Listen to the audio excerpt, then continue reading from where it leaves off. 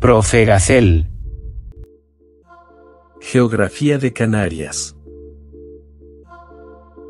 El origen geológico de las Islas Canarias. Antiguamente se pensaba que las islas formaban parte de la Atlántida, un presunto continente hundido en el océano, del que las islas eran las puntas emergidas. Hoy en día este tipo de hipótesis han sido rechazadas, no obstante, aunque no se conoce con certeza, si se sabe que tienen un origen volcánico. Partiendo de esta base, se han desarrollado varias teorías, sin embargo, ninguna cuenta con el respaldo general. Todas estas nuevas teorías se relacionan con la tectónica de placas, y comparten que las islas se localizan en el interior de la placa africana, una región que no debería tener actividad volcánica, ni sísmica, pero sin embargo, se trata de una de las regiones volcánicas más activas del planeta. Una de estas nuevas formulaciones es la teoría de los bloques levantados.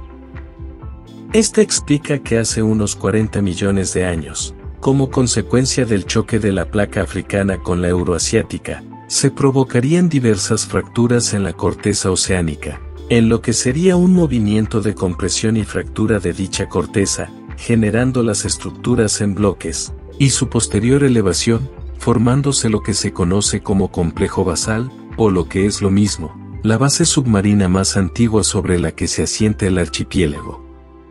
Debido a la existencia de magma bajo estos bloques, este sale a superficie a través de estas líneas de debilidad tectónica, que al irse acumulando en material a lo largo de un tiempo geológico importante, van dando forma a las distintas islas.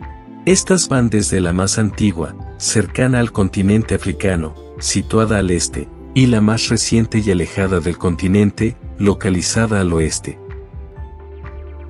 Otra teoría es la del punto caliente, que explica que las islas proceden de una misma fuente de magma en el interior, situado en el manto. En este punto, el magma sale formando una isla, la cual se sitúa sobre este punto. Sin embargo, después la corteza se desplaza hacia el este, dejando al punto atrás. Esto hace que se genere una nueva isla en otra posición, lo que provoca que al este hayan islas más viejas, mientras que al oeste están las más jóvenes. También existe la teoría de la fractura propagante, que explica que cuando se formó la cordillera del Atlas, se produjeron fracturas de la corteza en sus bordes, y una de ellas se propagaría en dirección a la actual ubicación de Canarias, dando origen a las islas, debido a la salida a superficie del magma. En la actualidad, han surgido dos nuevas teorías. La primera de ellas, la denominada como teoría unificadora, lo que ha tratado es de conjuntar diferentes procesos, procedentes de las distintas teorías preexistentes, para crear una única teoría que pueda explicar el origen de Canarias.